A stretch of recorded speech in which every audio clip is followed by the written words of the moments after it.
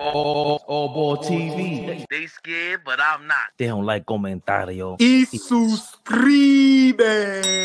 Chris Broussard, another moron. He yells just like this about nothing, about nothing.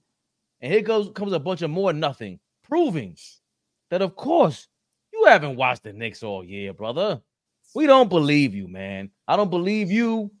Your red hair, none of that. Are you ready to say he's a superstar? Well, that's LeBron. the year Jalen Brunson, as you Love said from bird. the numbers, was phenomenal. 35 and 9, 40 points the last three games, 41 and 12 in the closeout. But no, Oh, gee whiz. slow down. Wow. Because because you Wow. do have a postseason like this, doesn't mean you're a superstar. Trae Young, Exhibit A. Trae, because here's Trae Young, Hmm? and here's the difference between Trae and Rick or Jalen. One of the Yes. one of the things, Yes. one of That's the the things only with- lunch. He was good. We did it Summer League. 3:15. Three three clowns up here. About it. Go ahead. here's Never knew who Rick Shaq. Brunson was until Jalen. So come- you get what I'm had been a saying? Lottery pick and come into the league and in short order been a star. Can't Then a, a postseason like this may have made you say he's going to be a superstar. Yeah. But when you come in as a second round pick, you spend four years as a role player. No one thinks you're going to be a star. I need to see more. It's similar to, quickly to Brock Purdy.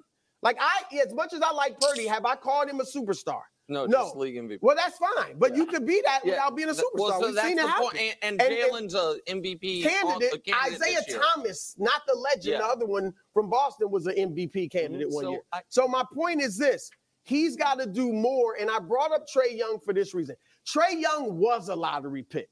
Trae Young was ballyhooed out of college. Trae Young did come right into the league and give you 19 and 9.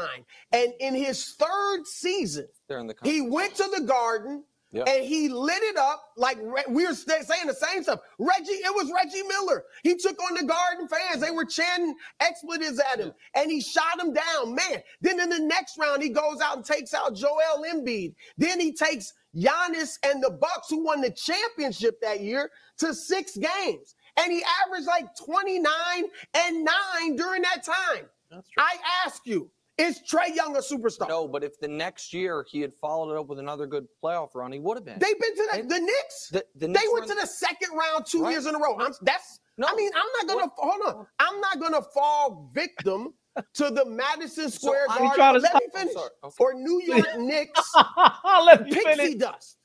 Everything that happens in New York Pixie is dust. magnified. And sure, the New York media, which is a lot of the national media from New York, they're gonna make, oh my gosh, I heard somebody to say today that I respect. He gonna end up, he might end up being the greatest Knick ever. Okay, Can well, we that's crazy. stop? Well, that's that's Look at him. Look at him. me Leave, leave him. Look at him. okay, that's too much.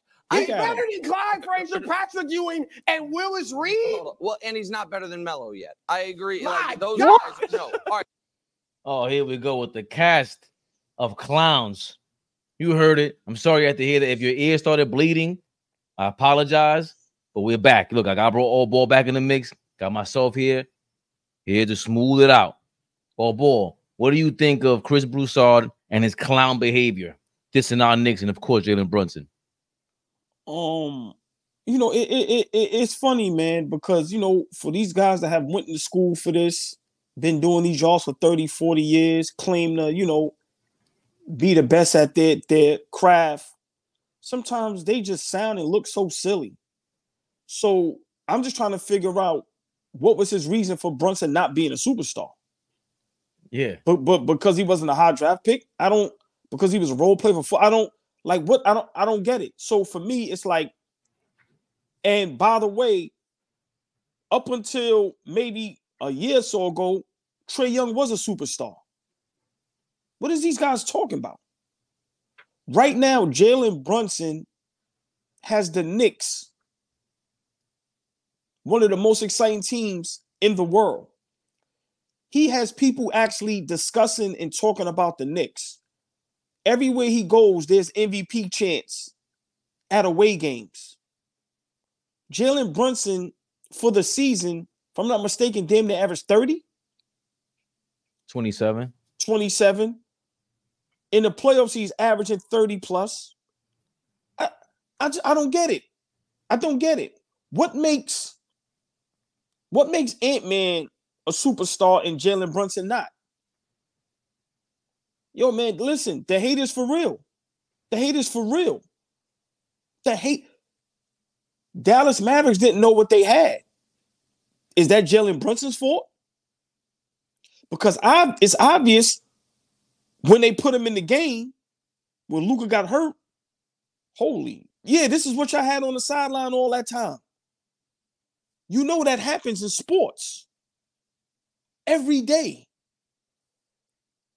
And then let me ask you this can you start somewhere and work hard and turn into a superstar? Because I'm just trying to fathom do you have to be a superstar out the gate or can you build up to a superstar? Nobody's saying Brunson was a superstar two, three, four years ago, but this year, that man is a superstar. I'm pretty sure his jersey sales is up. The garden is jam packed for one reason and one reason only. The opposing teams' arenas are packed for one reason and one reason only. Knicks fans are traveling all over the world because of one man. What else do we need to see? Then when they say, okay, forget the regular season, let's see what happens in the playoffs. He does it in the playoffs.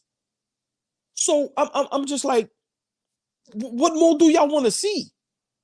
What is the criteria to becoming a, to, to being a superstar? So, so are y'all going to tell me LeBron, KD, Giannis, uh, Curry, Joker, those are still the only superstars? Because if because if if if Ant-Man and SGA are superstars now, how is Brunson not? He's averaging just as much, got his team in the second seed. Now, when you turn on ESPN, Fox Sports, all these networks, social media, everywhere, Brunson is being talked about. So, Chris Broussard, you yelling and you could sound like you know what you're talking about. You could yell. That don't mean you right. You look like an idiot, to be honest with you, because you're trying to force your opinion, bro. You wrong. You wrong. This listen. What Charles Oakley said it. So we're not gonna respect Charles Oakley. We're not gonna respect Charles Oakley. Charles Oakley said, "quote Jalen Brunson is the second greatest Knick all time after Clyde Frazier." And he said, Yeah, I know y'all gonna talk about Pat and Oakley. They wasn't this. Oak, who played for the Knicks 10 years, played with them guys. Pat. We not gonna respect his word? How he not better than Melo already as a Knick? How? Melo ain't do this. Are you kidding me? We have an opportunity to go to the finals. This man gives us hope.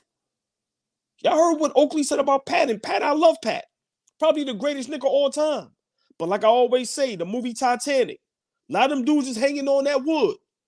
Because if this young man retires as a Knick and he does this for the next two to five years, oh yeah, he's a greater Knick than Patrick Ewing. I'm saying it.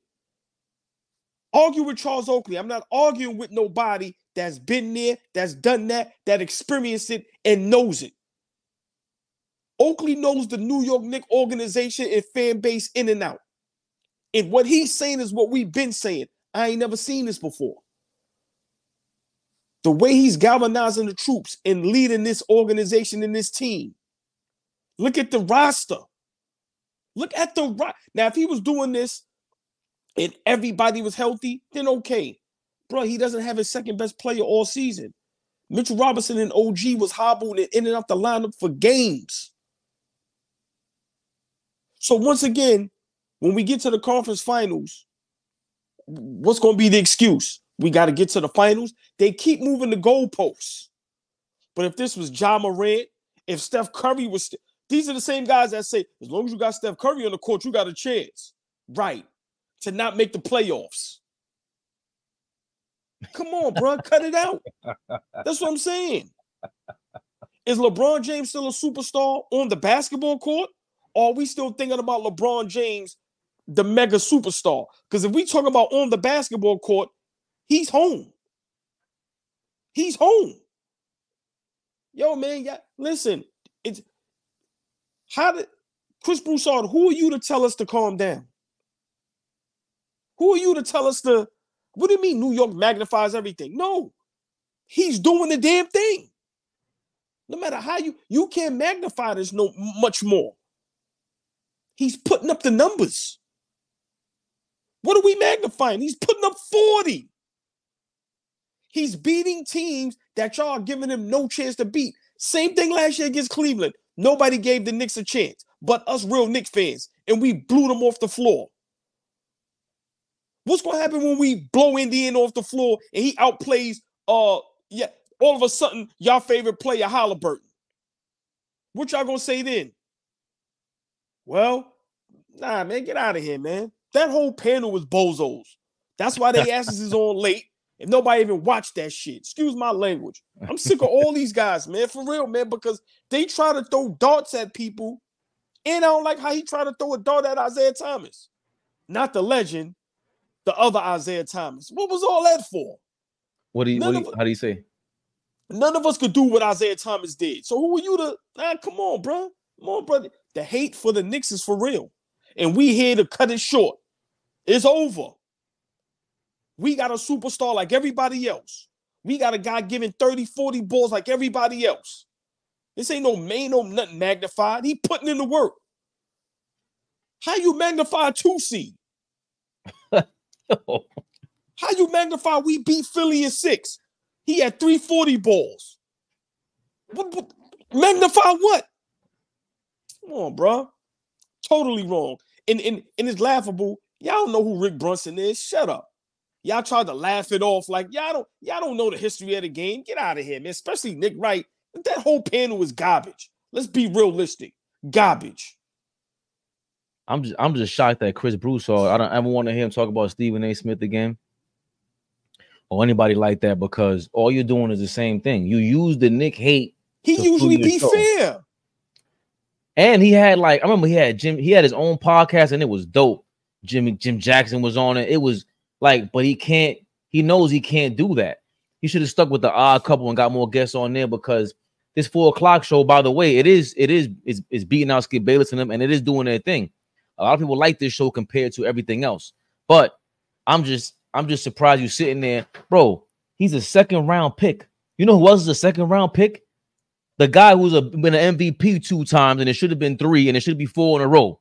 the Joker, second round pick. He didn't come out, shoot out the uh, uh, uh the starting lineup, start and become a superstar. That didn't happen with the Joker. That happened three or four years in. very similar to Jalen Brunson. Remember, Brunson was hurt in the bubble.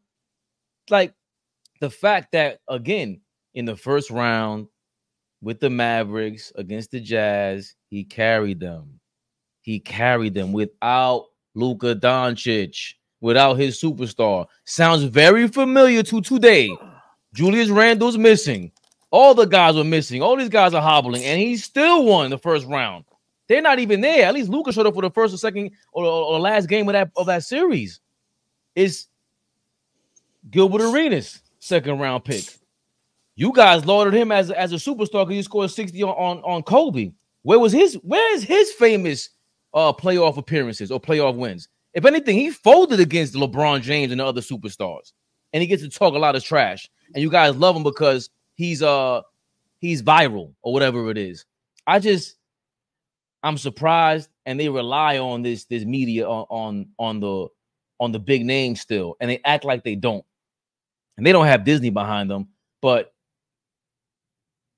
at this point is is nauseating. We know the game already. You guys are just saying this. You're picking against the Knicks. You're picking against Brunson because it drives it drives your your marketing dollars up without even trying. It, it, it allows us to make something some some views too, which is cool with me. But at the same time, you want to hit list too. You're right behind Becky Hammon. Get in line, bro. You sound like an and you sound like a moron. Like, how can you not? Dennis Rodman was a second round draft pick. Dray, Draymond Green, we all have our opinions about him, but it was five to seven years defensive player of the year candidate or just a top guy, defensive player of the year, like top dude. He's part of a, uh, and he's considered a superstar. He sells tickets. Like, what are we talking about? He's impactful. Not to say that he was by himself when he did it, but I'm sure I'm pretty sure y'all give Draymond Green his props with no problem. With no problem. Good point. Good point. So with Jalen Brunson, and it's not just one playoff run. That's the really the bottom line to all that. That's not just one playoff run. It's three years in a row where he's gotten out of the first round. When was the last time he, he left the playoffs in the first round? When did he exit? And again, he shared lead duties with the other superstar guy you guys keep saying is top five, top 10. Left him and still became a top five player. He still became a top five guys in people's in MVP ballots by leaving another MVP guy. When has that happened? Kyrie ain't do that. Kyrie ain't do that. Who's the other guys? Name them. Name them. Scottie Pippen ain't do that. Come on, man. Like we could go down the list. Who left the MVP sidekick and became an MVP caliber guy themselves? What other player has left an MVP caliber player and became an MVP caliber guy themselves? Kyrie didn't do it. Scottie Pippen ain't do it. Who's left and became LeBron left, I guess D Wade, but he was already an MVP. Nobody does that. KD, Nobody. It's a good point. KD left, didn't become. Only only Kobe got Shaq traded and said, "Y'all my MVP too." But hold on, I'm not gonna lie. When KD left OKC, he went to Golden State and was a better basketball player. I'm not. He was an lie. MVP already. What I'm saying is, uh, Golden State inherited an MVP. Jalen Brunson became an MVP caliber player by leaving an MVP ca- dude, caliber dude that everybody yeah. overall can say this has never happened before, ever, and he's not getting the credit for it. All, all ball TV. They scared, but I'm not. They don't like comentario. Y suscribe.